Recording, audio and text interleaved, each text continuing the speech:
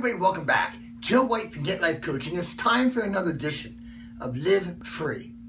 So the other day, someone came up to me and they were sharing with me how they've been stuck in this pattern. Something they've been trying to change for a long time and they haven't had much success. Yeah, they would take action and get some results and it would fall off. They would spin the wheel. They try to coach. They try reading a book on it, getting some tapes on it, all these things. But they kept getting stuck right where they're at. And they couldn't understand why they couldn't break through. And the answer is kind of simple. Because there are three stages to get anything you want. And you got to get through all three stages.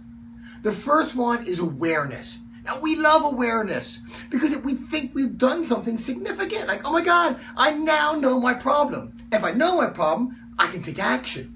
And sometimes we do take action when it comes to once we have awareness, but it's not consistent action. It's like dabbling. So they'll go to the gym once or twice.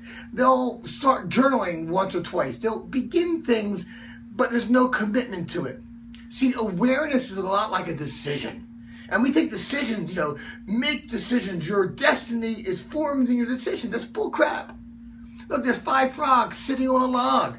Four decide to jump off. How many are left? Five. Why? Because just because you decide to do something doesn't mean you're going to do it.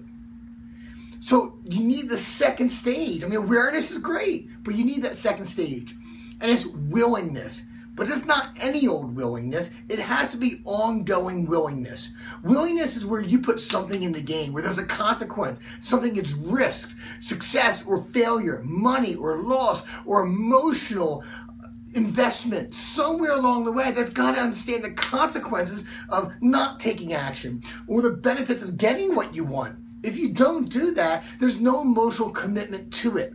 And there's nothing going to drive you past that natural level of, of uncomfortability. Think about this. Anytime you change, you're going to feel uncomfortable. So you need something here, something that drives you. But it's just not a one-time thing. Like I got so many friends in the direct sales and, and, and MLM industries. And what happens is they recruit people and they're really willing to sell. So they sell all to the friends and family and they get some success. But once you run out of friends and family, you got to go beyond your comfort zone. And the willingness to sell to friends and family was achieved. The willingness not to, to extend beyond that wasn't there. So very often when you start something, the driving force, that willingness, that why, is one thing. But it has to evolve and change and, and maintain and be ongoing. Because that will set you up for the third and final stage. And that is you have to take massive and consistent action. Notice I'm not just saying take action. It has to be massive and consistent. Massive. Because if you try one thing, it may or may not work. Try a bunch of things. Throw everything against the wall. See what sticks.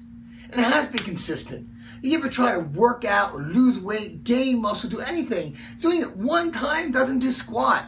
Coming to a coach one time doesn't do anything. Me hitting the gym one time doesn't do anything. But it's that series of over and over and over again that builds momentum and gets you to your breakthrough. So figure out where you're stuck. Are you have do you have the awareness or maybe you need more clarity in what the problem exactly is? But once you have awareness, you need an ongoing willingness. You got to understand the consequences, understand the motivation and association you have to getting it and not getting it. And then three, you got to take massive and consistent action. Three stages of getting what you want. Joe White from Get Life Coaching. Have an outstanding day. Live free. Bye bye.